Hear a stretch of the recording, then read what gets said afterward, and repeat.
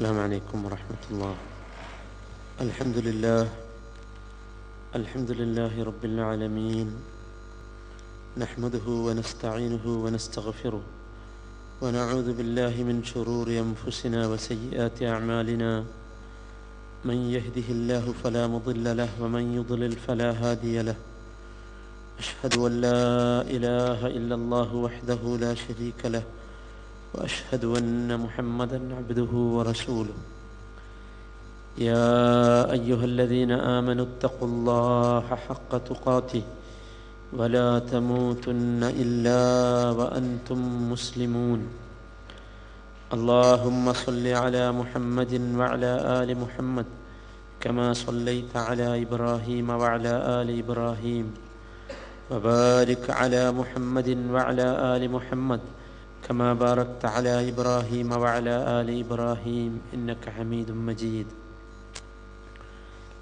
أما بعد فإن خير الحديث كتاب الله وخير الهدي هدي محمد صلى الله عليه وسلم وشر الأمور محدثاتها وكل محدثة بدعة وكل بدعة ضلالة وكل ضلالة في النار. അള്ളാഹു സുബാനുഹൂവത്തായാലായ യഥാവിധി സൂക്ഷിച്ച് ജീവിക്കണം എന്ന് പ്രത്യേകം ഓർമ്മിപ്പിക്കുകയാണ്.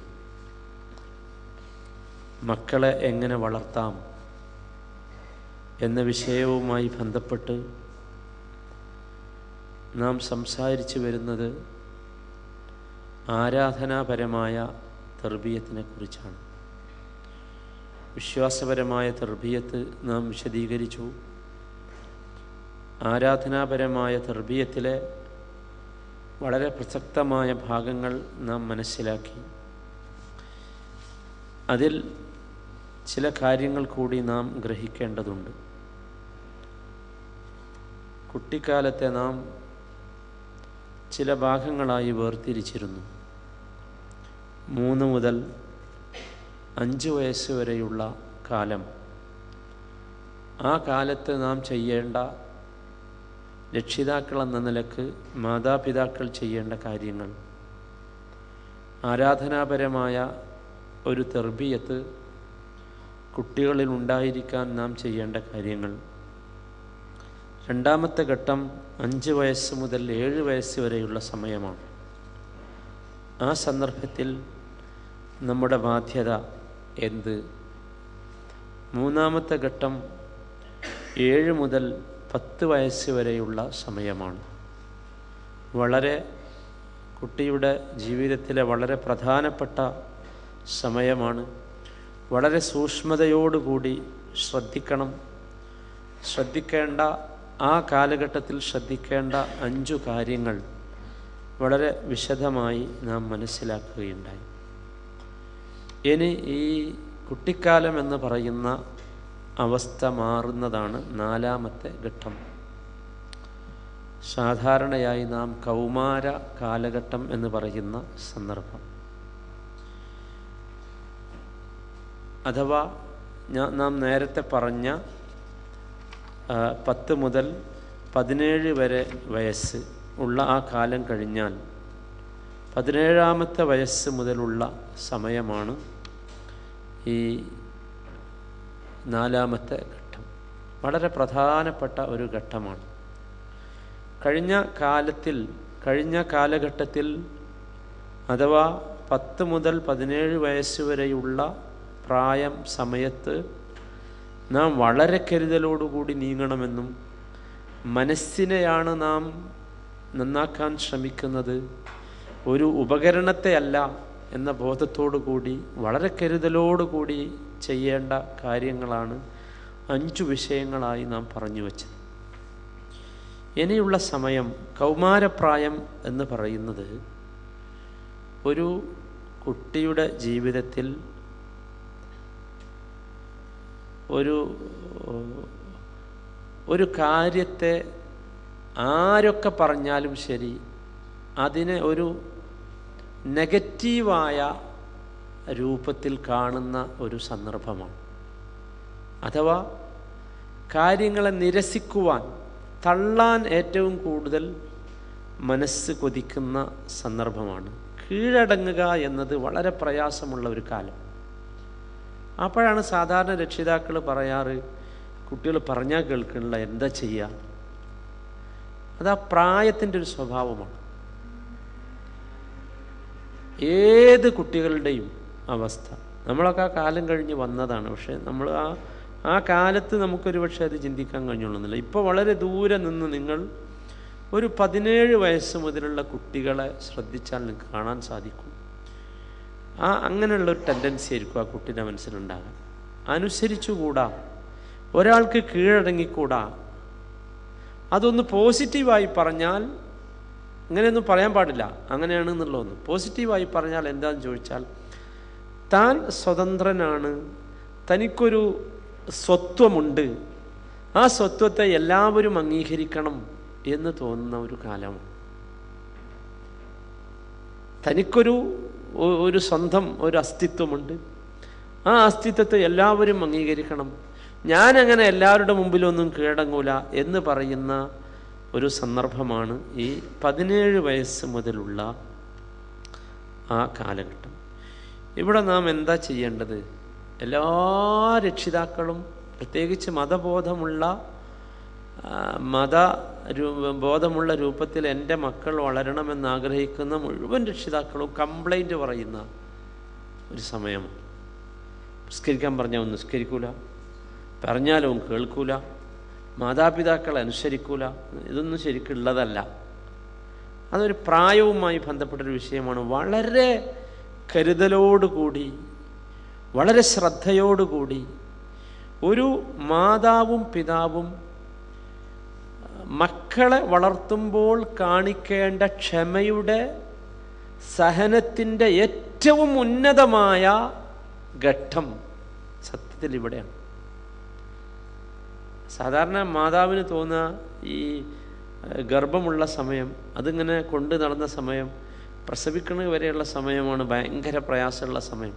അല്ലെങ്കിൽ ആദ്യത്തെ ഒരു രണ്ട് വയസ്സ് വരെ ആകണ വരെയുള്ള സമയമാണ്. അല്ല അതൊക്കെ ഈ മാതാവിന്റെ പിന്നെ പിടിയിൽപ്പെട്ട സന്ദർഭമാണ്. അവസരമാണ്. ഇതുണ്ടല്ലോ ഇത് പിടിച്ചാൽ കിട്ടൂല. മാതാവിനോ പിതാവിനോ പിടിച്ചാൽ കിട്ടാത്ത ഒരു ഘട്ടം. ഏറ്റവും കൂടുതൽ ക്ഷമ സഹനം കാണിക്കേണ്ട സന്ദർഭമാണ്. ഇതിനാകട്ടെ വളരെ ഗ്രാജ്വലായ പടിപടിയായ ഒരു രീതി ഈ വയസ്സ് മുതൽ കുട്ടികളെ വളർത്തുന്ന കാര്യത്തിൽ മതപരമായ തെർഭീയത്തിന്റെ കാര്യത്തിൽ നാം ശീലിക്കേണ്ടതുണ്ട്. നമ്മുടെ സമൂഹം മുസ്ലിം സമൂഹം പ്രത്യേകിച്ചും അവർക്കറിയാതെ പോയ മറന്നുപോയ ഒരു കാര്യമാണ്. അതുകൊണ്ടാണ് മുസ്ലിം സമൂഹത്തിലെ നിങ്ങൾ ആലോചിക്കുക നമുക്ക് തന്നെ ചിലപ്പോൾ തോന്നലുണ്ട്. സ്കൂളിൽ ചേർക്കുന്നതിന് മുമ്പ് മദ്രസ ചേർക്കും. മുസ്ലിങ്ങൾ നമ്മുടെ നാട്ടിലൊക്കെ സാധാരണ സ്കൂൾ ചേർക്കുന്നതിന്റെ ഒരു കൊല്ലം മുമ്പ് മദ്രസ ചേർക്കും.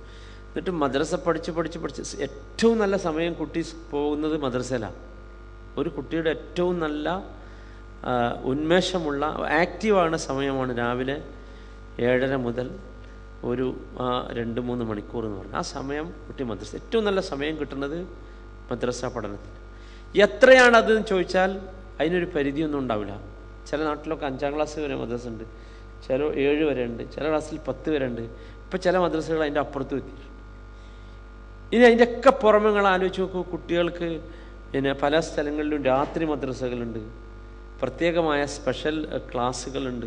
മതപരമായി കുട്ടി വളരാനുള്ള ഒരുപാട് ഇങ്ങനെയൊക്കെ ഈ രൂപത്തിലൊക്കെ സംവിധാനങ്ങൾ ഉണ്ടാക്കിയിട്ടും ഏറ്റവും കൂടുതൽ ധാർമ്മികമായി അധപതിച്ചു എന്ന് നമ്മുടെ നാട്ടിലുള്ള വർത്തമാന മാധ്യമങ്ങൾ മുഴുവൻ പറയുന്നത് മുസ്ലിം സമൂഹത്തിലെ ആളുകളെക്കുറിച്ചാണ്. എന്താണ് പ്രശ്നങ്ങൾ ആലോചിച്ച് നോക്കൂ. വിഷയം എന്താണെന്ന് വെച്ചാൽ നമ്മൾ കുട്ടികളെ പഠിപ്പിക്കാത്തതുകൊണ്ടല്ല. മതപരമായി വളർത്താനുള്ള സംവിധാനങ്ങൾ മുസ്ലിമീങ്ങൾക്കുള്ളത്ര വേറെ ആർക്കുമില്ല. വല്ല യൂണിവേഴ്സിറ്റിയൊക്കെ സ്ഥാപി സ്ഥാപിക്കുന്ന കോലത്തിലാണ് പല നാട്ടിലും ഈ രാവിലെ രണ്ട് മൂന്ന് മണിക്കൂർ പഠിപ്പിക്കാനുള്ള മദ്രസ നടത്താനുള്ള ബിൽഡിങ്ങും ഒക്കെ ഉണ്ടാക്കിയിട്ടുണ്ടാവും. ഭയങ്കരമായ സംവിധാനങ്ങളൊക്കെ ആയിരിക്കും. അതിനായിട്ട് കുറേ ആളുകൾ ഒഴിഞ്ഞിരിക്കണമൊക്കെ ഉണ്ട്. വേറെ പണിക്കൊന്നും പോകാതെ ഓരോ പേര് മദ്രസ മാലിമ്യങ്ങളെന്നോ മുദരീസിങ്ങളെന്നൊക്കെ. വേറെ പണിക്കൊന്നും പോലും പോകില്ല ഈ രണ്ട് മണിക്കൂർ ഏർപ്പാട് കഴിഞ്ഞാൽ പിന്നെ അങ്ങനെ. ഈ രൂപത്തിൽ ഒരു ഭയങ്കര സംവിധാനമാണ് സമുദായത്തിന് പക്ഷെ എന്നിട്ടും ഞാൻ നേരത്തെ പറഞ്ഞതുപോലെ സകല മാധ്യമങ്ങളും നമുക്ക് പരിശോധിച്ചാൽ കാണാൻ സാധിക്കും. ധാർമ്മികമായ അധപതനം ഏറ്റവും കൂടുതൽ വന്നത് നമ്മുടെ സമൂഹത്തിലാണ്. നമ്മൾ ഉറക്കെ ചിന്തിക്കേണ്ട വിഷയമാണ്. ചിന്തിച്ച് ചിന്തിച്ച് ചില ആളുകൾ എത്തിയിട്ടുള്ളത് മദ്രസന്റെ സിലബസ് ശരിയല്ലാത്തതുകൊണ്ടാണ് അവിടുത്തെ ആ പഠന രീതി ശരി പഠിപ്പിക്കുന്ന രീതി ശരിയല്ലാത്തത് കൊണ്ടാണ്. അത് കുറച്ചും കൂടി ഒരു എന്താ പറയുക മനസ്സുമായി കുട്ടിക്ക് യോജിക്കാവുന്ന രൂപത്തിലായിരിക്കണം ഒന്നുകൂടി വിദ്യാഭ്യാസ പരിഷ്കരണം നടത്തേണ്ടത്. സത്യം അവിടെ ഒന്നുമല്ല. സത്യം എവിടെ എന്ന് വെച്ചാൽ രക്ഷിതാക്കളാണ് അബദ്ധം. യാഥാർത്ഥ്യം അതാണ്. നമ്മൾക്ക് ഞാനും രക്ഷിതാവാണ്. നിങ്ങളൊക്കെ മാതാ പിതാക്കളും മാതാക്കളുമാണ്. നമ്മൾ സമ്മതിച്ചാലും ഇല്ലെങ്കിലും അബദ്ധം അവിടെയാണ്. നമ്മൾ ഈ ഒരു പ്രായമുണ്ടല്ലോ ആ പ്രായത്ത് കുട്ടികളെ കാര്യങ്ങളെ എതിർക്കുന്ന രൂപത്തിൽ കുട്ടികളോട് കൽപ്പിക്കുന്ന ഒരവസ്ഥയിലേക്ക് രക്ഷിതാക്കൾ മാറിയിട്ടുണ്ട്. ആ ഓ ഞാൻ പറഞ്ഞ് കേൾക്കൂല. എന്നാൽ എന്ന് പറഞ്ഞിട്ടാണ് മൂപ്പരുടെ ഞാൻ പറഞ്ഞല്ലോ ആ പ്രായത്തിന്റെ പ്രത്യേകത ഞാൻ പറഞ്ഞല്ലോ. ഈ സംവി ഈ പരിപാടിയെ നടക്കാത്തൊരു കാലമാണ് എന്നുവെച്ചാൽ ഈ കുട്ടി ഞാനായാലും നിങ്ങളായാലും ഒക്കെ അള്ളാഹു താല കുട്ടികളുടെ മാനസികമായ വളർച്ചയിൽ ഉണ്ടാക്കിയിട്ടുള്ള സംവിധാനമാണ്. ഒരു പതിനേഴ് വയസ്സ് മുതൽ ഒരു ഇരുപത്തിരണ്ട് ഇരുപത്തിമൂന്ന് എന്ന് വെച്ചാൽ പിന്നെ സ്കൂൾ വിട്ട് ഈ കോളേജ് ക്യാമ്പസിൽ എത്തുന്ന ഒരു കാലം. ആ കാലം കുട്ടി സ്വന്തം അസ്തിത്വത്തെക്കുറിച്ച് ചിന്തിക്കുന്ന തനിക്കൊരു സ്വാതന്ത്ര്യമായ സ്വതന്ത്രമായ അസ്തിത്വം ഉണ്ടാകണമെന്ന് ആഗ്രഹിക്കുന്ന അതിനുവേണ്ടി വെമ്പുന്ന മറ്റാരെന്ത് പറഞ്ഞാലും ശരി അതല്ല ശരി എന്ന് വിചാരിക്കുന്ന ഒരു കാലഘട്ടമാണ്. അപ്പോൾ ആ കാലഘട്ടത്തിൽ നമ്മൾ ചെയ്യേണ്ടത് എന്താണെന്ന് ചോദിച്ചാൽ ഈ ഇയാളുടെ ഈ കുട്ടിയുടെ അതേ സ്വഭാവവും മനോഭാവവും നാൽപ്പത് വയസ്സായ രക്ഷിതാവിന് ഉണ്ടാകാൻ പാടില്ല. മാതാവിനോ പിതാവിനോ ഉണ്ടാകാൻ പാടില്ല. അവരാ പ്രായം കഴിഞ്ഞല്ലോ. അവർ കുറച്ചുകൂടി ഗൗരവത്തോടു കൂടി ചിന്തിക്കേണ്ട കാലമാണ്. അപ്പോൾ ആ സന്ദർഭങ്ങളിൽ ഇങ്ങനെ ഒരവസ്ഥ. ഞാൻ പറഞ്ഞത് അവൻ അനുസരിക്കണില്ല നമസ്കരിക്കുന്നില്ല നോമ്പ് നോക്കുന്നില്ല എന്നൊരവസ്ഥ ആവലാതിയായി മനസ്സിൽ തോന്നുന്ന രക്ഷിതാക്കൾ ശ്രദ്ധിക്കേണ്ട ചില കാര്യങ്ങളാണ് ഞാൻ സൂചിപ്പിക്കാൻ ഉദ്ദേശിക്കുന്നത്. രണ്ട് മൂന്ന് സ്റ്റേജിൽ നിങ്ങൾ അവനെ ചികിത്സിക്കേണ്ടതുണ്ട്.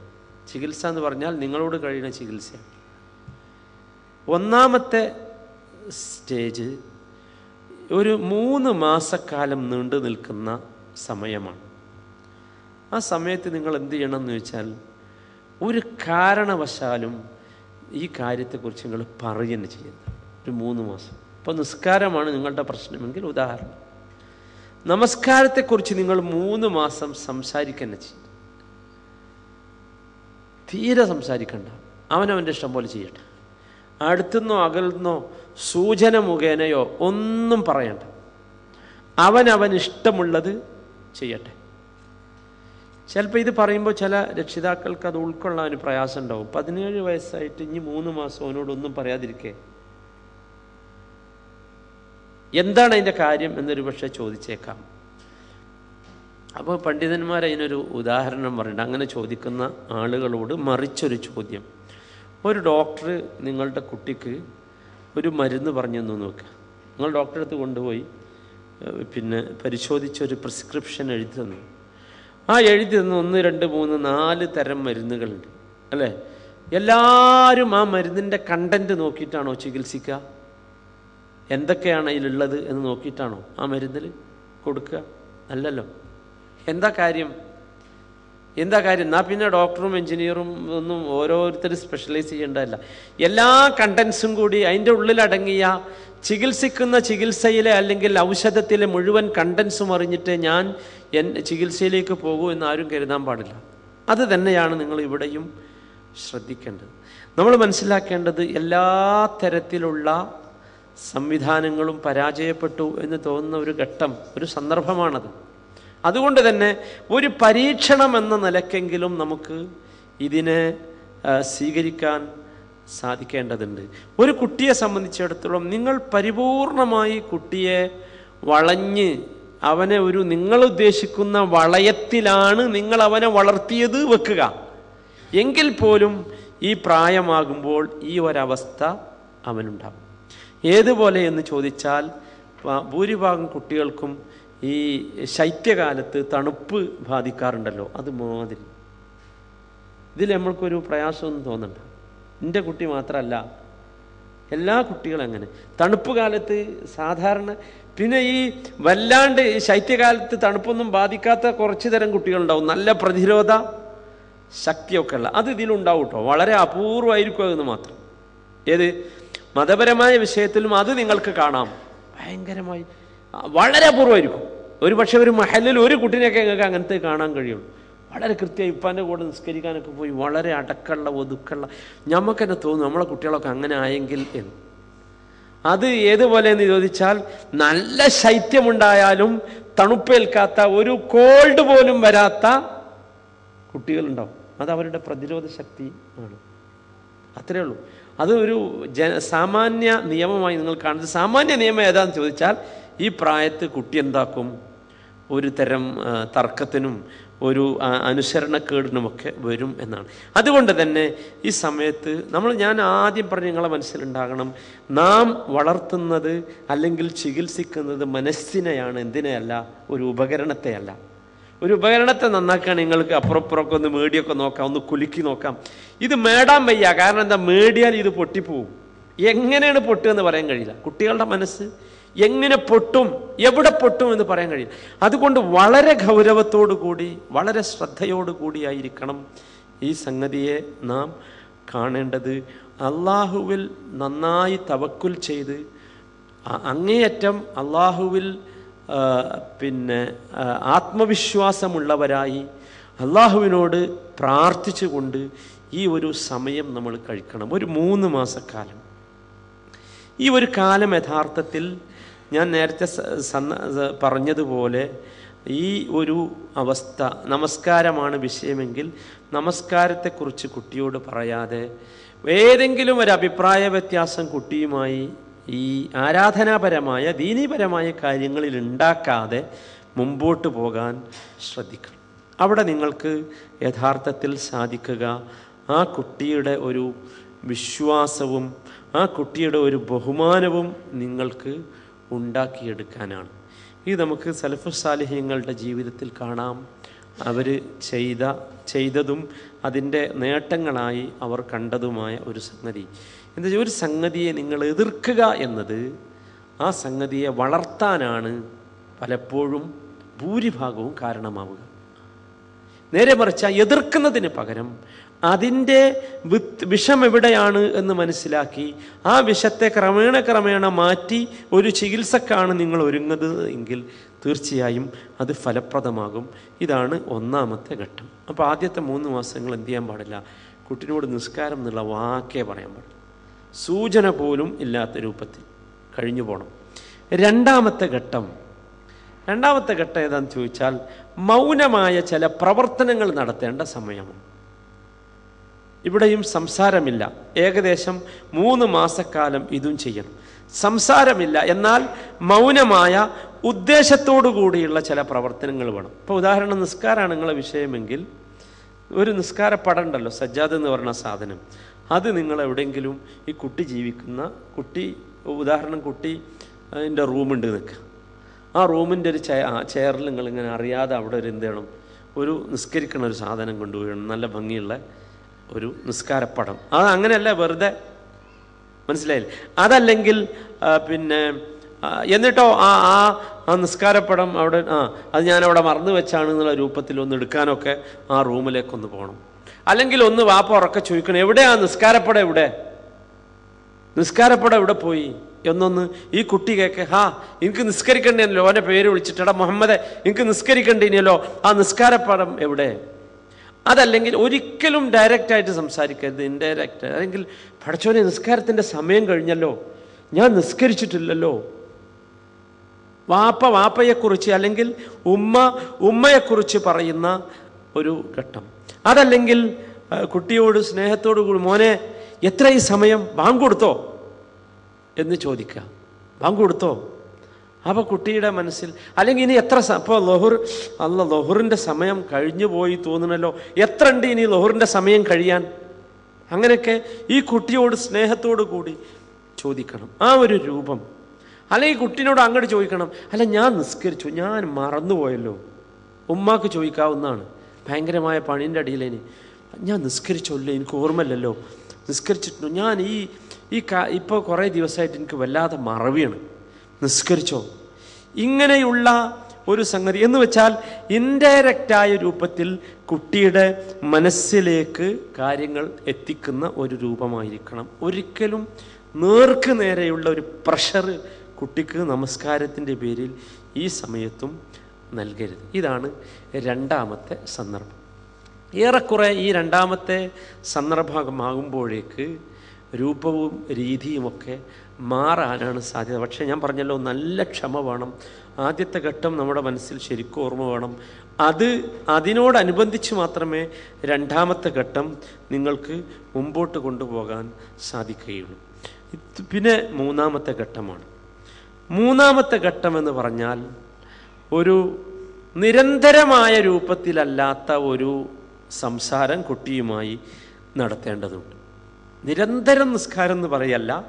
എന്നാൽ ഒരു ഒരു ഒരു സ്വാഭാവികമായ രൂപത്തിൽ. നിസ്കരിക്കാനായിട്ട് ഓനെ കാത്തു നിന്നു എന്നവന് തോന്നരുത്. ഒരു സ്വാഭാവികമായി ആ നിസ്കരിക്കാൻ പോണ നേരത്ത് നിങ്ങൾ അവനാണ് കാണുകയാണ് അല്ലെങ്കിൽ അങ്ങനെ കാണുന്ന ഒരു രീതി രൂപം നിങ്ങൾ ഉണ്ടാക്കണം. അല്ലെങ്കിൽ ഇപ്പോൾ ഈ ഇപ്പം ക്ലാസ്സിനൊക്കെ വരാൻ ഭയങ്കര മടിയാണ് എന്ന് വെക്കുക. നിർബന്ധിച്ചിട്ടും എന്റെ മോൻ ക്ലാസ്സിനൊന്നും പോണില്ല. കംപ്ലൈന്റ് ആയാണ് ആൾക്കാർ പറയാം. ഞാൻ എത്ര പറഞ്ഞിട്ടും കേൾക്കുന്നില്ല. വേറെയാണ് വേറെ ചിന്തയാണ് അവർക്ക്. അല്ലെങ്കിൽ വേറെ സംഗതിയാണ്. അപ്പോൾ അവിടെ നമ്മൾ ശരിക്കും ശ്രദ്ധ ഇതൊരു മൂന്നാമത്തെ ഘട്ടം. അവിടെ നമ്മൾ ചെയ്യേണ്ടത് എന്താ വെച്ചാൽ മോനെ വിളിച്ച് സ്നേഹത്തോടു കൂടി പറ. മോനെ എനിക്ക് ഭയങ്കര ക്ഷീണമുണ്ട് എനിക്കാണെങ്കിൽ അവിടെ നിന്ന് ആളുടെ ഒരു ക്ലാസ് ഉണ്ട് അവിടെ നിന്ന് പോകണം. നീ ഒന്ന് എന്റെ കൂടെ വരണം എനിക്ക് ഭയങ്കര ക്ഷീണമുണ്ട്. സ്വാഭാവികമായും പിതാവിനോട് ബഹുമാനവും ആദരവും എങ്ങനെയൊക്കെ നമ്മൾ എന്ത് കുറ്റം പറഞ്ഞാലും ശരി വാപ്പാനോടും ഉമ്മാനോടൊക്കെ കുട്ടികൾക്ക് സ്നേഹമുണ്ട്. വെറുതെ പറയാൻ നമ്മളില്ല നോക്കി. സ്നേഹമുണ്ട്. ആ സ്നേഹം ശരിക്കും എനിക്ക് ക്ഷീണമുണ്ട്. എനിക്ക് പ്രയാസമുണ്ട്. നീ എന്റെ കൂടെ വരണം. എനിക്ക് അവിടെ പോകേണ്ടതുണ്ട് എന്ന് പറഞ്ഞാൽ എന്തായിരുന്നാലും കുട്ടി വരും. സ്വാഭാവികമായും. അല്ലെങ്കിൽ പള്ളിക്ക് പോവാണ്. പള്ളിക്ക് പോകുമ്പോൾ മോനെ എനിക്ക് അവിടെ വീണ് പോകുമെന്നൊരു പേടിയുണ്ട്. അല്ലെങ്കിൽ ആ റോഡ് മുറിച്ച് കിടക്കാൻ എനിക്കൊരു പ്രയാസമുണ്ട്. അതുകൊണ്ട് നീ ഒന്ന് എന്റെ കൂടെ വരുമോ എന്ന് ചോദിക്കുന്ന ഒരു സ്വഭാവം. ആ രൂപത്തിൽ കുട്ടിയെ കാര്യങ്ങളിലേക്ക് അടുപ്പിക്കുന്ന ഒരു സ്വഭാവം ഒരു രീതിയാണ് ഉണ്ടാകേണ്ടത്. അതല്ലെങ്കിൽ ഇപ്പോൾ ഒരു ക്ലാസ്സൊക്കെ കഴിഞ്ഞു. ഈ കുട്ടി ആണ് വന്നു നിൽക്കുക ആ ക്ലാസ്സിന്. കുട്ടിനോടൊന്ന് വീട്ടിൽ നിന്ന് ചോദിക്കുക എന്തായിരുന്നു ഇപ്പം അയാൾ പറഞ്ഞ വിഷയങ്ങൾ? ഈ ഒന്ന് ആലോചിച്ച് നോക്കുക എന്തൊക്കെ ഇപ്പം ഇന്ന് പറഞ്ഞത് അയാൾ? അതല്ലെങ്കിൽ ഒരു ചർച്ച വീട്ടിൽ ചെന്നിട്ട് ആ അല്ല ഇന്ന് ആ കേട്ട വിഷയം ഉണ്ടല്ലോ അത് വളരെ ഗൗരവമുള്ള സംഗതി തന്നെയാണ് കേട്ടോ. അയാൾ പറഞ്ഞ മൂന്ന് കാര്യങ്ങൾ ശ്രദ്ധിച്ചോ? ഇങ്ങനെയുള്ള ഒരു സംസാരവും രീതിയും ആ ഒരു സംസാരത്തിലൂടെയും രീതിയിലൂടെയും കുട്ടിയെ എന്നിട്ട് ആ കുട്ടിയെ നമ്മൾ സ്വയം സംസാരിപ്പിക്കും. നമ്മളിങ്ങനെ അങ്ങോട്ട് പറഞ്ഞ് കുട്ടി കേൾക്കുക എന്നുള്ളത് ഒഴിവാക്കിയിട്ട് കുട്ടി ഇങ്ങോട്ട് സംസാരിപ്പിക്കുന്ന ഒരു രീതി ഉണ്ടാക്കണം. അവൻ ആ വിഷയത്തിൽ താല്പര്യമുണ്ടാകുന്ന ഒരു രീതി. ആ ശരി എന്ന് അയാൾ പറഞ്ഞ് വളരെ പ്രധാനപ്പെട്ട വിഷയമാണ്. ആ സ്വയം കുഞ്ഞുങ്ങൾ മക്കൾ ആ വിഷയത്തിലേക്ക് വരുന്ന ഒരു രീതിയാണ് നാം ഉണ്ടാക്കേണ്ടത്. ഇങ്ങനെയുള്ള ഒരവസ്ഥ നാം മനസ്സിലാക്കി ഇവിടെ നമ്മൾ ശ്രദ്ധിക്കേണ്ട ഒന്ന് രണ്ട് വിഷയങ്ങൾ കൂടിയുണ്ട്. ഒന്നാമത്തെ എന്താന്ന് ചോദിച്ചാൽ ഞാൻ നേരത്തെ പറഞ്ഞതുപോലെ മൂന്ന് ഘട്ടങ്ങളാണ് നാം പറഞ്ഞത്. ഒന്നാമത്തെ ഘട്ടം കഴിയാതെ ആരും രണ്ടാമത്തെ ഘട്ടത്തിലേക്ക് പ്രവേശിക്കരുത്. എന്ന് വെച്ചാൽ ആ ഒരു മൂന്ന് മാസത്തെ ക്ഷമ അതെന്റെ ഒരു അടിത്തറയാണ്. ആ അടിത്തറ വളരെ പ്രധാനമാണ് അത് ആവശ്യമാണ്. ആ ഒരു അടിത്തറയിലൂടെ വേണം എന്താക്കാൻ വളർത്തിക്കൊണ്ടുവരാൻ. എന്നിട്ട് രണ്ടാമത്തെ ഘട്ടത്തിലേക്ക് പ്രവേശിക്കാവൂ. അത് വളരെ പ്രധാനമായ ഒരു വിഷയമായി. രണ്ടാമത്തെ ഘട്ടത്തിലേക്ക് നാം പ്രവേശിച്ചു കഴിഞ്ഞാൽ നമ്മൾ നമ്മൾ നമ്മൾ ആദ്യം പറഞ്ഞൊക്കെ നമ്മളെ മനസ്സിലുണ്ടല്ലോ എന്തിന്റെ ലക്ഷ്യമെന്ത് എന്നത്. അള്ളാഹു തായാലായോടുള്ള വല്ലാത്ത ഒരു സഹായം ചോദിക്കൽ ഈ വിഷയത്തിൽ നമുക്ക് വേണം. എന്റെ മകൻ നശിച്ചു പോയാൽ എന്റെ മകൻ മതപരമായ ഒരു ബോധം അവനില്ലാതെ പോയാൽ എന്റെ കാര്യം വളരെ പരുങ്ങലായിരിക്കും റബ്ബെ. അതുകൊണ്ട് റബ്ബെ നീ സഹായിക്കണം എന്ന് റബ്ബിനോട് പറഞ്ഞുകൊണ്ടുള്ള ഒരു രീതിയും ഒരു രൂപവുമായിരിക്കണം നമുക്ക് ഉണ്ടാകേണ്ടത്. അവിടെ യഥാർത്ഥത്തിൽ ആ ഒരു രൂപത്തിൽ നാം അള്ളാഹുവിനോട് പറഞ്ഞുകൊണ്ട് ഒരിക്കലും നമ്മൾ നിരാശരാകരുത്. മക്കളെ കുറിച്ച് ഭയങ്കരമായ ദുഃഖം നിരാശ. എന്നിട്ട് അവരുമായുള്ള സമ്പർക്കം നിർത്തുക അല്ലെങ്കിൽ അവരുടെ തെർബീയത്തിന്റെ രീതി നിർത്തുക. അങ്ങനെ ഒന്നും ഉണ്ടാകാൻ പാടില്ല. ഒക്കെ സലാമത്താകും. അള്ളാഹുവിന്റെ നിശ്ചയത്തോടു കൂടി സലാമത്താകുമെന്ന ശുഭപ്രതീക്ഷയോടുകൂടി. ഒരിക്കലും അള്ളാഹുവിന്റെ ഒരു പിന്നെ ഖദറിനെ കുറിച്ച് നിരാശ തോന്നാതെ അള്ളാഹുവിന്റെ റഹ്മത്തിനെ കുറിച്ച് നിരാശ തോന്നാതെ അത് നമ്മൾ പ്രത്യേകം ശ്രദ്ധിക്കണം. അതുപോലെ തന്നെ ഗൗരവത്തിൽ ചിന്തിക്കേണ്ട ഒരു കാര്യമാണ്. എടോ ഇത് നന്നാവില്ലടോ എന്ന് ഒരിക്കലും കുട്ടീന്റെ മുഖത്തോക്കി പറയരുത്. അതിൽ ഭയങ്കരമായ അബദ്ധമാണ്. എന്താന്ന് വെച്ചാൽ ഞാൻ ആ കുട്ടിയുടെ മനസ്സിന് എന്ത് ചെയ്യാൻ പറ്റുന്നൊന്നുമല്ല ഞാൻ പറഞ്ഞു മറിച്ച് അള്ളാഹുവിന്റെ റഹ്മത്തിനെ കുറിച്ചുള്ള നിരാശ വരികയാണ് വെച്ച് നമുക്കൊരിക്കലും പാടില്ല. അല്ല നമ്മളെ കുട്ടികളെ നന്നാക്കുമെന്ന വിചാരത്തോടു കൂടി പണിയെടുക്കണം. നന്നാണെ വരെ പണിയെടുക്കണം. അതാണ് നമ്മൾ നിങ്ങൾ ആലോചിച്ച് നമ്മളെ വീട്ടിലുള്ള ഒരു ഇലക്ട്രോണിക് ഉപകരണം കേട് വന്നാൽ നമ്മൾ എന്താ ചെയ്യുക അതിന്റെ അവസാനം വരെ പോയി നോക്കൂലേ? എങ്ങനെയെങ്കിലും കാരണം അത് വളരെ അത്യാവശ്യമുള്ള ഒരു സാധനമാണ് വീട്ടിൽ എന്ന് വെക്കുക. അവസാനം വരെ പോയി നോക്കുക നന്നാക്കാൻ. അങ്ങനെ തന്നെ. അപ്പോൾ ഇത് നിങ്ങൾ ആലോചിച്ച് നോക്കി നമ്മളെ മക്കളെന്ന് പറഞ്ഞാൽ നമ്മൾ ആമുഖം പറഞ്ഞില്ലേ? നമ്മുടെ നമ്മുടെ കരളിന്റെ കഷ്ണങ്ങളാണ്. നമ്മളെ കരളാണ് വേർപ്പെടുത്തി എങ്ങനെങ്കിലും ആയിക്കോട്ടെ എന്ന് വെക്കാൻ നമ്മൾ സമ്മതിക്കും? പറ്റൂല. അതിന്റെ അവസാനം വരെ അവിടെ പോകുക വേണം. അതാണ് ഏറ്റവും പ്രധാനമായി നമ്മൾ ശ്രദ്ധിക്കണം ഈ മൂന്ന് സ്റ്റേജിലൂടെ നമുക്ക് ഈ കൗമാരപ്രായത്തിലെത്തി നിൽക്കുന്ന കുട്ടിയെ നന്നാക്കി എടുക്കാൻ തീർച്ചയായും സാധിക്കും. സാധിക്കൂല എന്ന് പറയുന്ന രക്ഷിതാക്കൾ യഥാർത്ഥത്തിൽ ഞാനവരെ കുറ്റം പറയല്ല. പക്ഷേ യഥാർത്ഥത്തിൽ എന്താ വെച്ചാൽ അവർ ചെയ്യേണ്ട ഡ്യൂട്ടി നമ്മൾ നേരത്തെ പറഞ്ഞതുപോലെയുള്ള ഡ്യൂട്ടി ചെയ്യാത്തത് കൊണ്ട് സംഭവിക്കുന്നതാണ്. ഏതെങ്കിലും ഒരു ദിവസം ഒരു ദിവസം ചോദിക്കും നിസ്കരിച്ചോടോ എന്നൊക്കെ.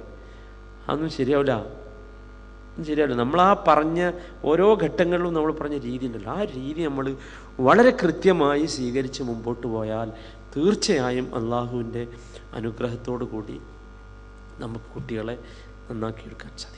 നമ്മൾ ശ്രദ്ധിക്കേണ്ടത് എപ്പോഴും കുട്ടികൾക്ക് മാതൃകയാകാൻ പ്രത്യേകിച്ച് മതപരമായ വിഷയത്തിൽ മാതൃകയാകാൻ രക്ഷിതാക്കൾക്ക് സാധിക്കണം. നമസ്കാരത്തിന്റെ കാര്യം പറഞ്ഞപ്പോൾ നമ്മൾ ആ ഓരോ ഘട്ടം പറഞ്ഞപ്പോൾ അത് പറഞ്ഞല്ലോ. ഇനി നമസ്കാരമല്ലാത്ത ആരാധനാ കാര്യങ്ങളിൽ പോലും ഇപ്പോൾ വെള്ളിയാഴ്ചയാണ് വരുന്നത് ഉദാഹരണം. ഉദാഹരണം കുട്ടി കാണണം വെള്ളിയാഴ്ച ദിവസത്തിന് മാതാവും പിതാവും ഒരു പ്രത്യേകം നൽകുന്നു അന്നൊന്ന് സുന്നത്തായ കുളി എന്ന നിലയ്ക്ക് കുളിക്കണത് കുട്ടി കാണണം. വെള്ളിയാഴ്ച അല്ലടാ അത് കൂടി. മനസ്സിലായില്ലേ ഒരു അൽക്കഹ് ഫോതണ് മക്കൾ കാണണം. മാതൃകയാകാൻ സാധിക്കണം. വെള്ളിയാഴ്ച രാവാണ്. ഒരു സ്വലാത്തെങ്കിലും അധികം ചെല്ലുന്നത് കുട്ടികൾ കാണണം. വെള്ളിയാഴ്ച ഒരു പ്രത്യേകമായ സമയമുണ്ട്. ആ സമയം വിജാപത്തിന്റെ സമയമാണെന്ന് നമുക്കറിയാം. പ്രാർത്ഥനയ്ക്ക് ഉത്തരം കിട്ടുന്ന സമയമാണ്. പഠിച്ചോനെ ആ ആ സമയത്ത് ഉത്തരം കിട്ടണേ എന്ന് വിചാരിച്ച് നിങ്ങൾ ദ്വായ ചെയ്യുന്നത് മക്കൾ കാണണം. ഈ രൂപത്തിലൊരു മാതൃകയാകാൻ. ഈ വിഷയങ്ങളിലൊക്കെ നമ്മൾ വിചാരിക്കും ഇത് നിസ്സാരമാണ്. അല്ല വളരെ ഗൗരവമുള്ള വിഷയമാണ്. ഈ വിഷയങ്ങൾക്കൊരു മാതൃക ആകാൻ കുട്ടികൾക്ക് മാതൃകയാകാവുന്ന രൂപത്തിൽ രക്ഷിതാക്കൾക്ക് മാറാൻ സാധിക്കണം. അത് വളരെ പ്രധാനമാണ്. അതുപോലെ തന്നെ പ്രധാനപ്പെട്ട ഒരു സംഗതിയാണ് പള്ളിയുമായുള്ള കുട്ടികൾക്ക് നാം ഉണ്ടാക്കേണ്ട ബന്ധം. അതൊക്കെ ഈ തെർബിയത്ത് ഈ ആരാധനാപരമായ തെർബിയത്തിൽ വളരെ ശ്രദ്ധയോടുകൂടി നീങ്ങേണ്ട ഒരു വിഷയമാണ്. പള്ളിയുമായി കുട്ടികൾക്ക് ബന്ധമുണ്ടാക്കാൻ വേണ്ടി ശ്രദ്ധിക്കണം.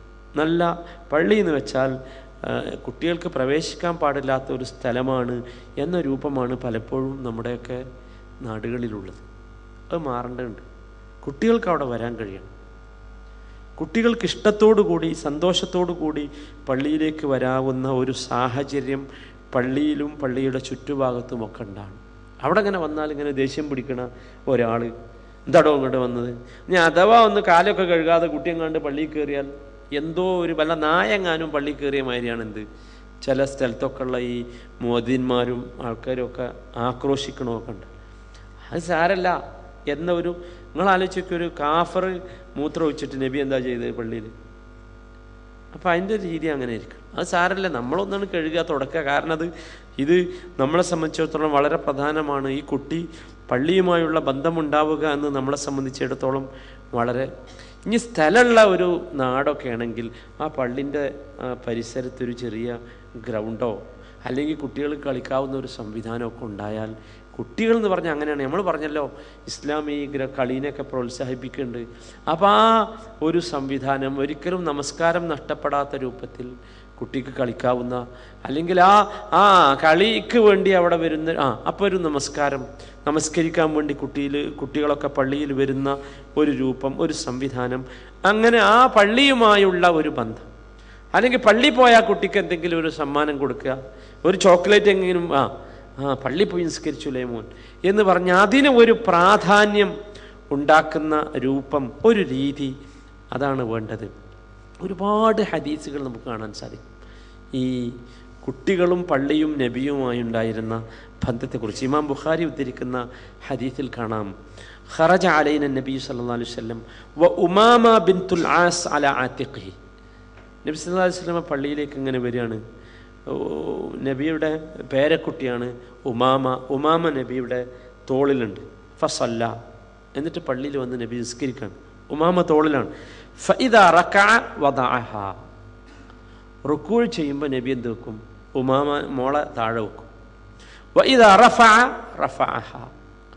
പിന്നെ സുജൂതൊക്കെ കഴിഞ്ഞ് എഴുന്നേൽക്കുമ്പോൾ കുട്ടീനെ എടുത്തുകൊണ്ട് നബി എന്താക്കും? എഴുന്നേൽക്കുകയും ചെയ്യും. ഇമാം ബുഖാരി ഉദ്ധരിച്ച ഹദീസാണ്. എന്താ മനസ്സിലാക്കേണ്ടത്? പള്ളിയിലാണ് ഈ സംഭവം.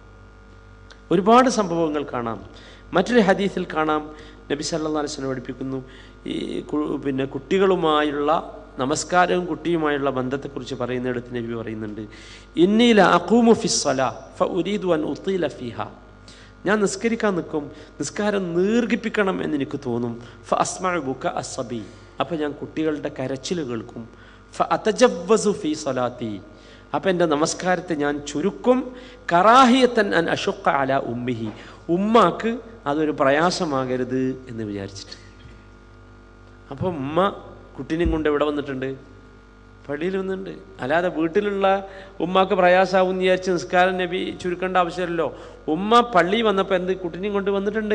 അപ്പോൾ കുട്ടി പള്ളിയിലുണ്ട്. കുട്ടീന്റെ കരച്ചിൽ നബി കേൾക്കുമ്പോൾ നബി എന്താക്കും? നമസ്കാരം ചുരുക്കും. എന്തിനാ? കറാഹിയത്താൻ അഷുക്ക അല ഉമ്മിഹി. ഉമ്മക്കത് പ്രയാസമാകും എന്ന രൂപത്തിൽ. എന്ന് വെച്ചാൽ കുട്ടി എവിടെ ഉണ്ട് പള്ളിയിലുണ്ട് എന്നർത്ഥം. ഒരുപാട് ഹദീസുകൾ ആ വിഷയത്തിലുണ്ട്. പിന്നെ ഇമ ഇവ ഈ അബ്ദുല്ലാഹിബിൻ അബ്ബാസ് അലി അള്ളാഹ് റിപ്പോർട്ട് ചെയ്യുന്ന ഒരു ദീർഘമായ ഹദീസിൽ കാണാം. മിനയിൽ വെച്ച് നടന്ന ഒരു സംഭവം. ബിൻ അബ്ബാസ് ചെറിയ കുട്ടിയാകുന്ന സമയത്ത് മിനയിൽ വെച്ച് നബി സല്ലല്ലാഹു അലൈഹി വസല്ലം നിസ്കരിക്കുമ്പോൾ ഇബിൻ അബ്ബാസ് ഒരു കഴുതന്റെ പുറത്ത് ഇങ്ങനെ വരിക. കഴുതന്റെ പുറത്തിങ്ങനെ പിന്നെ ഒരു കഴുത ഇങ്ങനെ അപ്പോൾ കഴുതനെ കൊണ്ടു നടക്കണ ഒരാളുണ്ട്. ആ കഴുതങ്ങനെ നിസ്കാരത്തിന്റെ സൊഫിന്റെ ഇടയിലൂടെ നടന്നുപോയി. അപ്പോൾ സഫിന്റെ ഇടയിലൂടെ നടക്കുക എന്നൊക്കെ പറഞ്ഞാൽ വളരെ ചീത്തയായ കാര്യമാണ് മോശമായ കാര്യമാണ്. പക്ഷേ ആ രൂപത്തിലായിരുന്നു പിന്നെ എന്നിട്ട് ഇബിൻ അബ്ബാസ് പറയുന്നുണ്ട് ദഹൽ തു ഫി സഫി ഫലം അലയ്യ. നിസ്കാരം കഴിഞ്ഞിട്ട് നബിന്റെ അടുത്ത് വന്നു. എന്നിട്ടും നബി എന്ത് എന്നെ ആക്ഷേപിച്ചുകൊണ്ട് ഒന്നും പറഞ്ഞില്ല. അപ്പം എന്താ പ്രശ്നം വെച്ചാൽ അങ്ങനെ ഒരു ആക്ഷേപമല്ല. മറിച്ച് ഇതൊക്കെ ഒരു രൂപം കുട്ടികളുടെ മനസ്സിലുണ്ടാകുന്ന രൂപമായിരിക്കണം എന്നതാണ് നാം മനസ്സിലാക്കേണ്ടത്. മാത്രമല്ല നബിയുടെ വാചകമായി നബിയുടെ ഉപദേശമായിരുന്നു ദഉ അത്ഫാലക്കും അൽ മസ്ജിദ് നിങ്ങളെ കുട്ടികളെ വിടി അവർ പള്ളിയിലേക്ക് വരട്ടെ പള്ളിയുമായി അവർക്ക് ബന്ധമുണ്ടാകട്ടെ എന്നാണ് എന്റെ അർത്ഥം. നമുക്കറിയാലോ നമ്മൾ എങ്ങനെയാണ് പിന്നെ നബി അലൈഹി വസല്ലം പറഞ്ഞ സുദീർഘമായ ഹദീസിൽ കാണാലോ ഏഴാളുകൾ ഈ അർഷിന്റെ തണലല്ലാതെ വേറെ അള്ളാഹുവിന്റെ തണലല്ലാതെ വേറെ തണലില്ലാത്ത ദിവസം തണലിട്ട് കൊടുക്കുന്നതിൽ പറഞ്ഞല്ലോ ഒരു ഒരു കുട്ടിയെക്കുറിച്ച്. കൽബുഹു മുഅല്ലഖുൻ ബിൽ മസാജ് അവന്റെ മനസ്സ് പള്ളിയുമായി ഇങ്ങനെ അറ്റാച്ച്ഡ് ആണ്. പണ്ട് എന്ന് വെച്ചാൽ എങ്ങനെ ഉണ്ടാകുക അതെങ്ങനെ ഉണ്ടാവും? അത് നമ്മൾ ചെറുപ്പത്തിലെ കുട്ടികളുടെ മനസ്സിൽ പള്ളിയെക്കുറിച്ചുള്ള ഒരു ബഹുമാനവും ആദരവുമൊക്കെ വളർത്തേണ്ടതുണ്ട്. മനസ്സിലായി? അതിനൊരു പ്രാധാന്യം നമ്മൾ നമുക്ക് സൗകര്യമുള്ളപ്പോൾ പള്ളിയിൽ പോവുക എന്നുള്ളതല്ല. ആ ബാങ്ക് കേട്ടാൽ പള്ളിയിലേക്ക് പോകേണ്ടതാണ് എന്ന് കുട്ടിയുടെ മനസ്സിൽ അതേമാതിരി നമ്മൾ ശ്രദ്ധിക്കണം. വീട് വെക്കാത്തവരെങ്കിലും വീട് വെക്കുമ്പോൾ പള്ളിയുമായി പള്ളിയുമായി ബന്ധപ്പെടാൻ സൗകര്യമുള്ള സ്ഥലത്ത് വീട് വെക്കാൻ പ്രാധാന്യം നൽകണം. അതെന്താണെന്ന് ചോദിച്ചാൽ കുട്ടികൾക്ക് പള്ളിയിലേക്ക് പോകാനുള്ള സൗകര്യം ഉണ്ടാകും പല ആൾക്കാരും വളരെ സൗകര്യമുള്ള ആൾക്കാരൊക്കെ വളരെ ഏതെങ്കിലും കുന്നിന്റെ മുകളിലോ അല്ലെങ്കിൽ ഒഴിഞ്ഞ സ്ഥലത്തൊക്കെ പോയി അതിന്റെ അടുത്തൊന്നും ഒന്നുണ്ടാവില്ല പള്ളി അങ്ങനെ സംഗതിയെ ശ്രദ്ധിക്കില്ല പ്രത്യേകിച്ച് നമ്മൾ നമുക്ക് അതൊരു വിഷയമല്ല എന്നൊന്ന്. മുസ്ലിമീങ്ങളുടെ കൂട്ടത്തിൽ എനിക്കുള്ളത് നമ്മൾ ഈ മലയാളികളുടെ മാതിരി ആ വിഷയം ശ്രദ്ധിക്കാത്ത ആൾക്കാർ നിങ്ങൾ കണ്ടില്ല ഇവിടെയൊക്കെ ഈ പാകിസ്ഥാനികളൊക്കെ ഒരു നാലോ അഞ്ചോ പാകിസ്ഥാനി ഏതെങ്കിലും ഒരു പിന്നെ സ്ഥലത്ത് പണിയെടുക്കുന്നുണ്ടെങ്കിൽ അവിടെ കാണാൻ ഒരു ഒരു ടെന്റ് മാതിരി ഒരു സാധനം അതിമൊരു ചന്ദ്രക്കലയും ഒരു ഇതൊക്കെ വെച്ച് ഇങ്ങനെ വെച്ച്. നിങ്ങളിങ്ങനെ നടന്നു പോകുമ്പോൾ ഏതെങ്കിലും ഇപ്പോൾ ഈ ഈ ഇൻഡസ്ട്രിയൽ ഏരിയയിലൊക്കെ അത് കണ്ടാൽ മനസ്സിലാക്കാം. അവിടെ ഒരു പാകിസ്ഥാൻ ഒരു അഞ്ചാറ് പാകിസ്ഥാനികൾ പണിയെടുക്കുന്നുണ്ടാവും. എന്താ വെച്ചാൽ അവർ പള്ളി എന്ന് വെച്ചാൽ മനസ്സു ഒരു വിശ്വാസിക്ക് ആ വിശ്വാസിയുടെ ജീവിതത്തിൽ ഏറ്റവും പ്രധാനപ്പെട്ട കർമ്മമായ നമസ്കാരം നിർവഹിക്കുന്ന സ്ഥലവുമായി മാനസികമായൊരു അറ്റാച്ച്മെന്റ് വേണം. നിസ്കരിക്കണ സ്ഥലം. അപ്പോൾ ശരിക്കും ശ്രദ്ധിക്കണം. കുട്ടികൾക്ക് പള്ളിക്ക് പോകാൻ പറ്റിയ സ്ഥലത്തായിരിക്കണം എന്ത് പള്ളിയിൽ ഇങ്ങനെ ആ ഒരു രൂപത്തിൽ നിങ്ങൾ ആലോചിച്ച് നോക്കി നമ്മളതൊന്ന് ശ്രദ്ധി നമുക്കതൊന്നൊരു വിഷയമല്ല. നമ്മൾ വേറെ പല സൗകര്യം കാറ്റും കോളും ഒക്കെ നോക്കുക. വേറെ ഇത് നമ്മളൊരു വിഷയമായി നമുക്ക് തോന്നാറില്ല മാറണം. ഇനിയിപ്പോൾ വീടുണ്ടാക്കുന്നവർ വലിയ പൈസയൊക്കെ ചിലവാക്കി വീടുണ്ടാക്കുന്നവരാണ് പ്രത്യേകിച്ച് ഈ ഗൾഫുകാരെ കുറിച്ച് എല്ലാവരും പറയണൊരു. ഒരുപാട് സൗകര്യങ്ങളും റൂമൊക്കെ ഉണ്ടാവും. എന്നാൽ ആ നമ്മൾ മുമ്പ് പറഞ്ഞൊരു വിഷയമാണിത്. ആ വീട്ടിൽ നിസ്കരിക്കാൻ വേണ്ടി ഒരു പ്രത്യേകമായ സ്ഥലം. എന്നിട്ട് മക്കളൊക്കെ ആ നിസ്കാരമാവുമ്പം മനസ്സിലായില്ലേ? അവിടെ ഒന്ന് ഒരുമിച്ച് കൂടി ഒരു കൃത്യമായ ഒരു നമസ്കാരവും. അതൊരു വല്ലാത്ത ബർക്കത്തായിരിക്കും അനുഗ്രഹമായിരിക്കും. ആ ഒരു രീതി യഥാർത്ഥത്തിൽ നാം ഉണ്ടാക്കണം. അങ്ങനെ നമ്മുടെ കുട്ടികൾ പള്ളിയുമായി ബന്ധപ്പെടുന്ന ഒരു സംവിധാനം തീർച്ചയായും നമ്മൾ ഉണ്ടാക്കണം.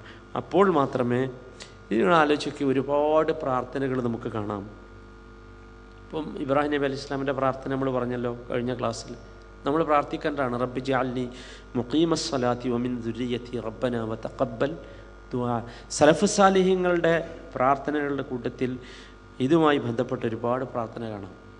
യാ ഹയ്യു യാ കയ്യൂം ബിറഹ്മതിക അസ്തഗീത് അസ്ലിഹ് ലി ഔലാദി ഷഅനഹും കുല്ലഹു വലാ തകിൽഹും ഇലാ അൻഫുസിഹിം തർഫത ഐൻ. അവരുടെ പ്രാർത്ഥനകളിൽ പെട്ടതായിരുന്നു. ഹയ്യായിട്ടുള്ളവനെ കയ്യൂമായിട്ടുള്ളവനെ ഞാൻ നിന്നോട് ഇസ്തിഹാസ നടത്തുന്നു. അസ്ലിഹ്ലി ഔലാദി ഷെനഹും കുല്ലഹു. എന്റെ കുട്ടികളുടെ എല്ലാ കാര്യവും നീ എനിക്ക് നന്നാക്കി തരണമേ.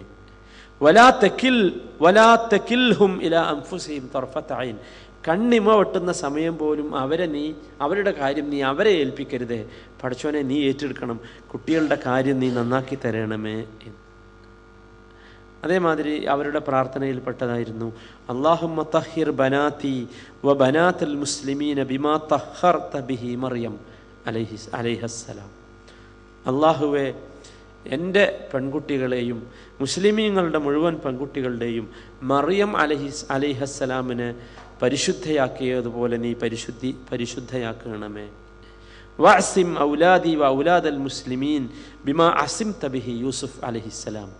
യൂസുഫ് അലൈഹിസ്സലാമിനെ രക്ഷപ്പെടുത്തിയതുപോലെ എന്റെ ആൺകുട്ടികളെയും മുസ്ലിമീങ്ങളുടെ എല്ലാ ആൺകുട്ടികളെയും നീ രക്ഷപ്പെടുത്തണമേ. സലഫുസാലയങ്ങളുടെ പ്രാർത്ഥനയിൽപ്പെട്ടതായി. നമ്മുടെ പ്രാർത്ഥനയിൽ ഈ മാതിരിയുള്ള വാചകങ്ങളൊക്കെ ഉണ്ടാകണം. ഇങ്ങനെയുള്ള ഒരു സംഗതി ഒരു രൂപമായിരിക്കണം യഥാർത്ഥത്തിൽ നമുക്കുണ്ടാക്കേണ്ടത് ഇങ്ങനെ വളർത്തിയാൽ ഞാൻ ഈ വിഷയം തുടങ്ങുന്ന സമയത്ത് ഒരു സംഭവം പറഞ്ഞല്ലോ. ഒരു ഫലസ്ത ഒരു ഫലസ്തീനി കുടുംബത്തിന്റെ സംഭവം. യഥാർത്ഥത്തിൽ അതുപോലെയുള്ള അനുഭവങ്ങൾ ഒരുപാട് മാതാക്കളും പിതാക്കളും ഈ നമ്മൾ ചില നമ്മളൊരു പ്രത്യേക ജനത്തെ കാണുള്ളൂ നമ്മളൊരു ചെറിയ പ്രശ്നമുണ്ട്. നമുക്ക് എന്താ വെച്ചാൽ നമ്മൾ ആലോചിക്കും ഇപ്പോൾ ഇതൊക്കെ പറഞ്ഞാലും ശരി ഈ ഒരു വിഷയം നമുക്കൊരു പ്രധാനപ്പെട്ട വിഷയമായി തോന്നണമെന്നില്ല. നമ്മളിപ്പോൾ നമ്മളെ സംഭാഷണത്തിലും മക്കളുമായുള്ള സംസാരത്തിൽ വിദ്യാഭ്യാസം വരും. പിന്നെ വീടിനെ കുറിച്ച് വീടിന്റെ പരിഷ്കാരം വരും.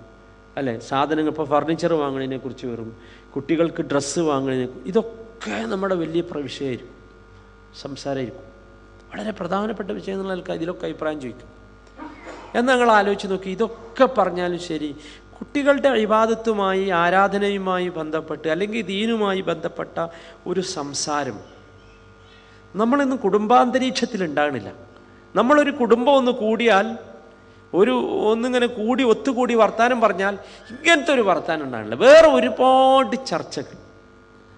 എന്താ പ്രശ്നം വെച്ചാൽ നമ്മൾ കാണുന്ന മുഴുവൻ ഇങ്ങനത്തെ ഒരു ടീമിനെ മാത്രം. ഇതൊക്കെ നമ്മൾ ആളുകൾ അങ്ങനെ അഭിപ്രായതാണ് ഈ സാധനം ഉണ്ടല്ലോ ഈ മനുഷ്യന്റെ ഐശ്വര്യവും സമൃദ്ധിയും സമ്പത്തും ഒക്കെ മനുഷ്യനെ അങ്ങനെ ആക്കി. എന്തൊക്കെ നിങ്ങൾ ആലോചിച്ച് നോക്കി? ബീച്ചിൽ പോകണത് സംസാരിക്കാൻ ആളുണ്ടല്ലോ. വീക്കെൻഡിൽ ഔട്ട് ഔട്ടിങ്ങിനെ കുറിച്ച് സംസാരിക്കാൻ രക്ഷി മാതാവിനും പിതാവിനും അല്ലേ നിങ്ങൾ ആലോചിച്ച് നോക്കി. പാർക്കിൽ പോണ് വലിയ വിഷയമാണ്. ഇതൊക്കെ ഭയങ്കര ഗൗരവമുള്ള വിഷയമാണ്. ജീവിതത്തിൽ വലിയൊരു വിഷയമായിട്ട് നമ്മൾ സംസാരിക്കണം. പ്ലാൻ ചെയ്യണം. എന്തിന്? വ്യാഴാഴ്ച വൈകുന്നേരമായി കിട്ടാൻ. വ്യാഴാഴ്ച വൈകുന്നേരമായാൽ പോകാൻ ഭയങ്കരമായ പ്ലാനാണ് ഇതിനൊക്കെ. അതിനുള്ള ഒരുക്കമാണ്.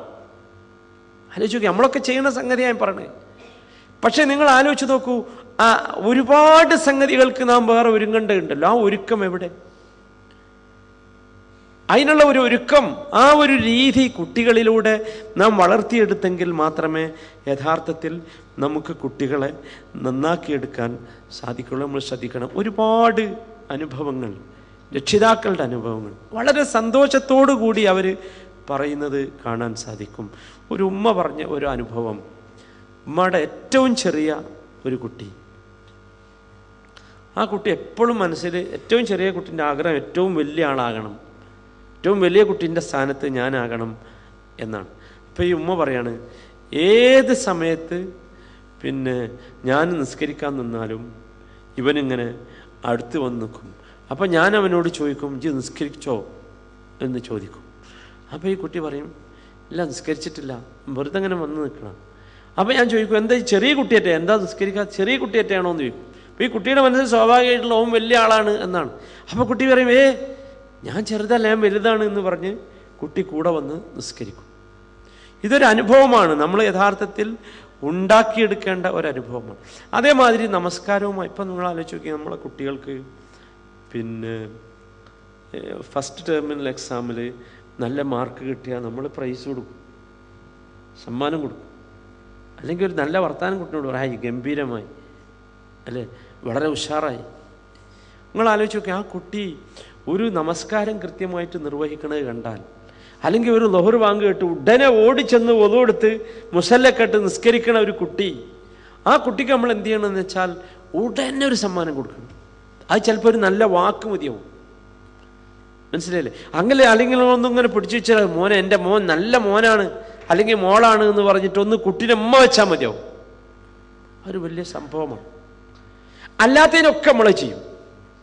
ആ ഞാൻ നേരത്തെ പറഞ്ഞ മാർക്ക് കിട്ടിയാലും അല്ലെങ്കിൽ അതുപോലെയുള്ള എന്ത് വിഷയത്തിലും നമ്മൾ ചെയ്യും. പക്ഷേ ഇങ്ങനെ ഒരു രീതി സഹോദരന്മാരെ നാം വളർത്തിയെടുക്കണം. അതാണ് നമുക്ക് യഥാർത്ഥത്തിൽ പിന്നെ നല്ല മാർഗം ഇവിടെ ഈ സംഗതികളൊക്കെ പറയുമ്പോൾ ഒരു ചെറിയ പ്രശ്നമുണ്ട് എന്താ വെച്ചാൽ പലപ്പോഴും ഈ കുട്ടികൾ തെറ്റിപ്പോകുമ്പോൾ പിതാക്കൾ മാതാക്കളെ കുറ്റം പറയും.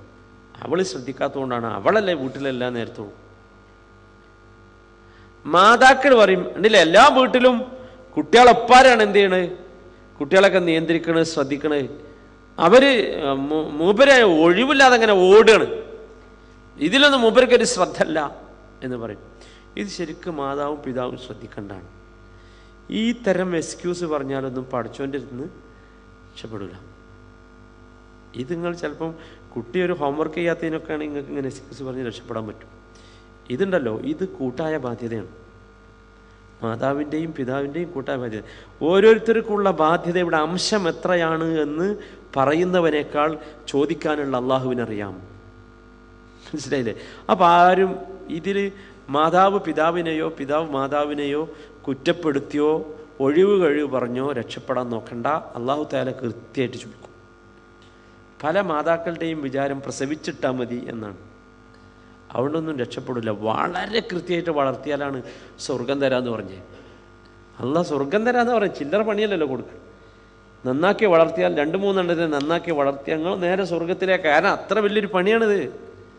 അതേമാതിരി തന്നെ പിതാവും. ചില പിതാക്കന്മാരൊക്കെ പിതാ ചില പിതാക്കളുടെയൊക്കെ വിചാരം അവർ കുടുംബത്തിലെ മറ്റേ ഫൈനാൻസ് മിനിസ്റ്ററാണ് എന്നാ ഏയ് ഞാൻ അത് കൊടുത്താൽ മതി എന്നാ തീർന്നു എന്നാ. അധിക ആണുങ്ങളുടെയും വിചാരം അങ്ങനെയാണ്. ഇവരിങ്ങനെ പൈസക്ക് എണ്ണി ഇങ്ങനെ കൊടുക്കും. എന്നാ തീർന്നു എന്നാ ഏയ്. അങ്ങനെ ഒരാണും കരുതണ്ട. ബാധ്യതയാണ്. രണ്ടാളുടെയും ബാധ്യതയാണ്. ആർക്കും അവരുടെ ബാധ്യതയിൽ നിന്ന് ഒഴിഞ്ഞേക്കാൻ പറ്റില്ല അപ്പോൾ എന്ത് ചെയ്യണമെന്ന് വെച്ചാൽ രണ്ട് കൂട്ടരും ഞാൻ ആ ഈ കഴിഞ്ഞ ക്ലാസ്സിൽ ഞാൻ പറഞ്ഞല്ലോ ഒരു അഡ്ജസ്റ്റ്മെന്റിലൂടെ പോകണം. തെറ്റാതെ അങ്ങോട്ടും ഇങ്ങോട്ടും തെറ്റാതെ ഒരു അഡ്ജസ്റ്റ്മെന്റിലൂടെ പോയെങ്കിൽ മാത്രമേ അപ്പോൾ രണ്ടാളുടെയും ബാധ്യതയാണ്. ആ രൂപത്തിലുള്ള ഒരു സംവിധാനം. പ്രത്യേകിച്ച് ഈ ഒഴിവ് കാലമൊക്കെ വരുമ്പോണ്ടല്ലോ മതപരമായി കുട്ടികളെ ഇപ്പോൾ ഇവിടെയൊക്കെ നമ്മൾ കണ്ട ഒരു വല്ലാത്ത അവസ്ഥ ഉണ്ട്. എന്താ വെച്ചാൽ ഒഴിവായാൽ ഇപ്പം രണ്ട് മൂന്ന് മാസം ഇനി ഒഴിവാണ് മനസ്സിലായില്ലേ? ഈ സമ്മർ വെക്കേഷനാണ് അപ്പോൾ എന്താ വെച്ചാൽ ഭയങ്കരമായ തിരക്കാണ് ഇതേമാതിരിയുള്ള സ്ഥാപനങ്ങൾക്ക്. ഖുറാൻ പഠിക്കാൻ വേണ്ടി ഭയങ്കര തിരക്ക്. മനസ്സിലായില്ലേ?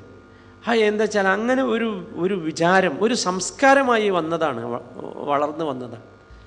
ഭയങ്കരമായി തിരക്കാണ് എങ്ങനെയെങ്കിലും എന്റെ കുട്ടിനെ ഒന്ന് പഠിപ്പിക്കണം എന്റെ കുട്ടിനെ പഠിപ്പിക്കണം സ്ഥലമല്ല എന്നൊന്നും പറഞ്ഞാൽ സമ്മതിക്കൂല പറ്റൂല. പിന്നെ ഞാൻ എന്താ എന്റെ കുട്ടിനെ ചെയ്യാം? എന്നാണ്. അപ്പോൾ ഇതെന്താ വെച്ചാൽ അതൊരു സംസ്കാരമായി വന്നിട്ട് നമുക്ക് അങ്ങനെയില്ല. നമ്മൾ പ്രത്യേകിച്ച് ഇപ്പോൾ പണ്ടൊക്കെ നമ്മളൊക്കെ പഠിച്ച ചെറുപ്പത്തിലാണെങ്കിൽ ഒരു മദ്രസന്റെ സംസ്കാരം ഉണ്ടായിരുന്നു.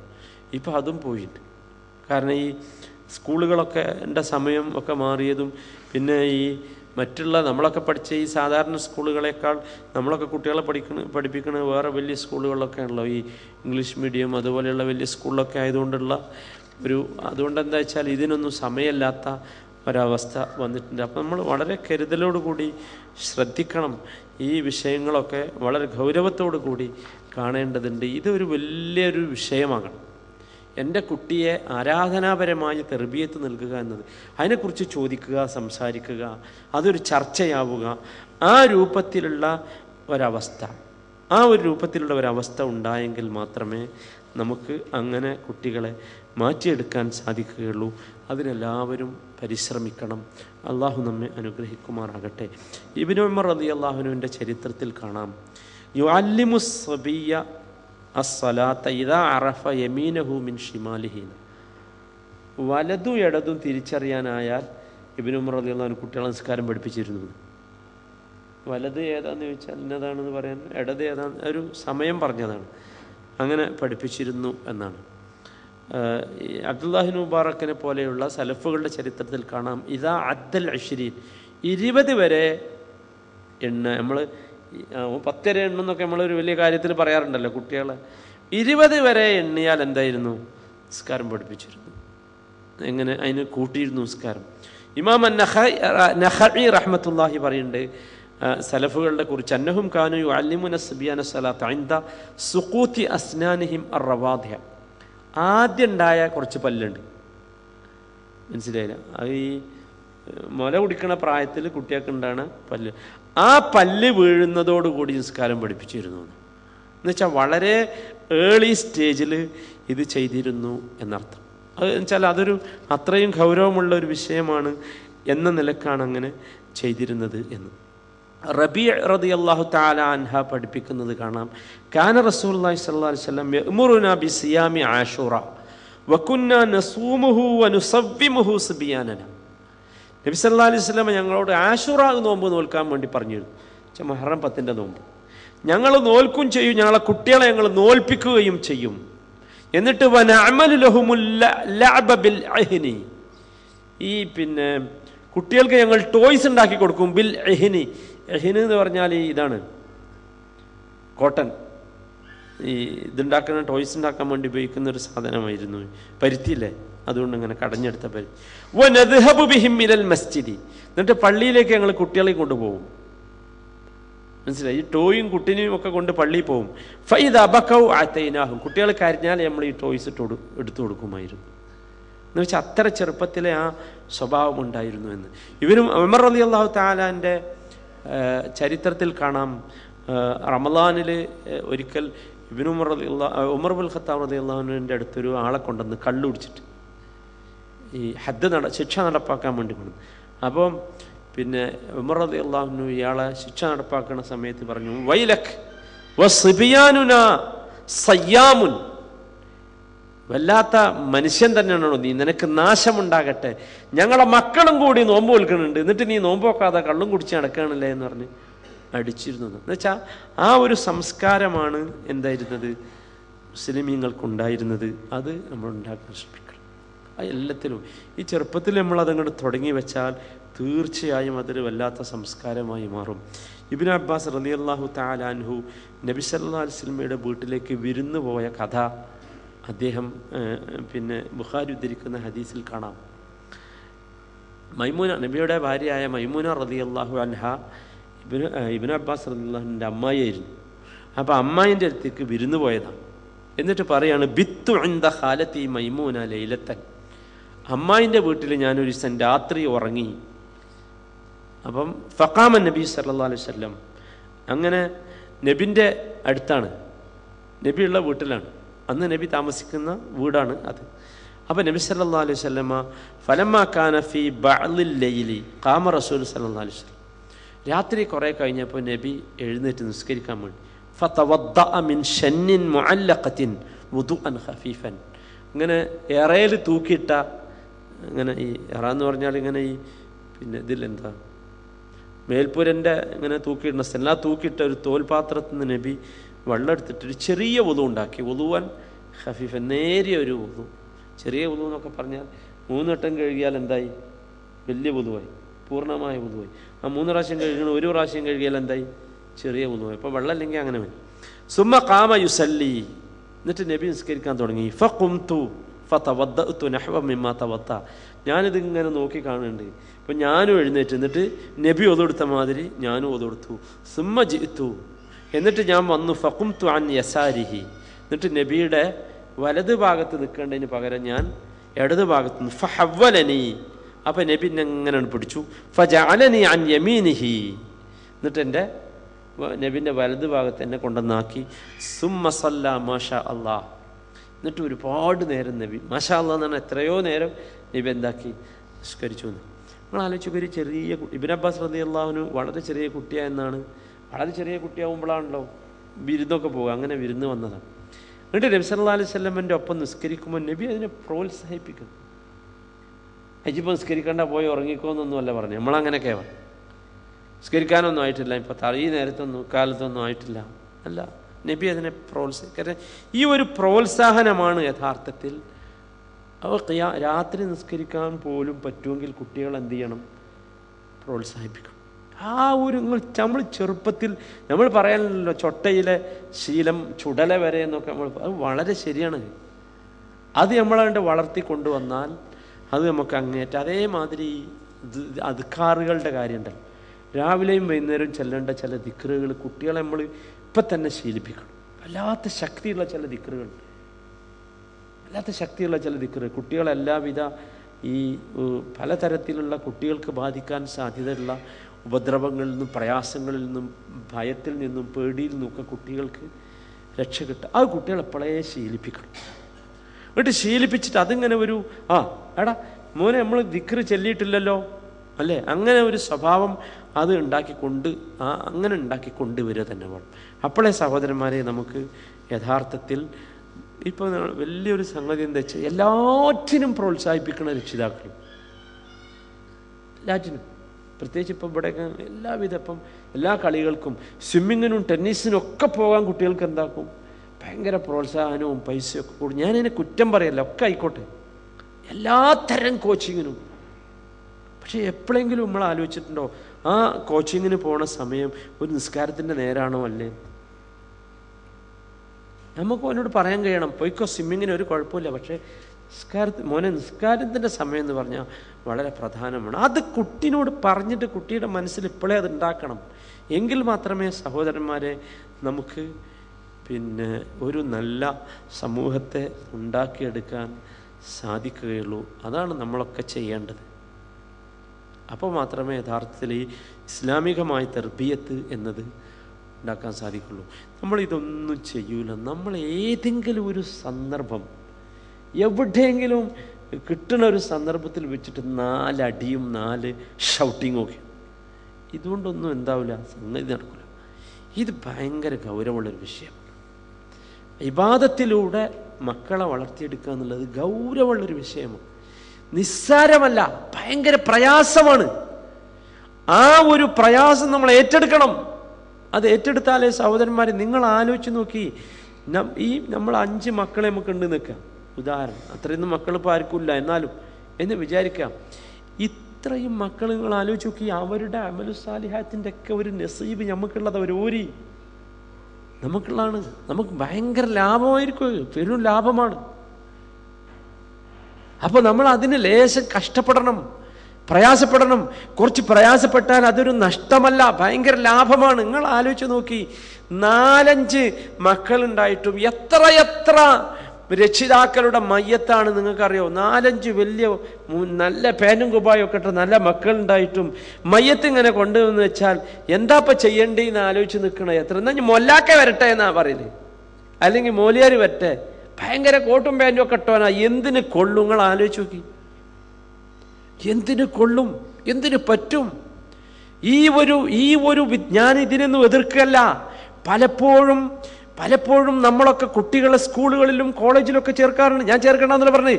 പക്ഷെ എപ്പോഴെങ്കിലും നിങ്ങൾ ചിന്തിച്ചിട്ടുണ്ടോ? ഞാൻ എന്റെ കുട്ടിയെ ചേർക്കാൻ പോകുന്ന സ്കൂളോ കോളേജോ ആ സ്കൂളിന്റെയോ കോളേജിന്റെയോ മതപരമായ ആ കുട്ടിക്ക് വളരാനുള്ള ഒരു അന്തരീക്ഷം അവിടെ ഉണ്ടോ? ആലോചിച്ചിട്ടുണ്ടോ ആരെങ്കിലും? എന്തേ ചോദിക്കലുള്ളൂ? കഴിഞ്ഞ കൊല്ലത്തെ റിസൾട്ട് എങ്ങനെ? അല്ലേ?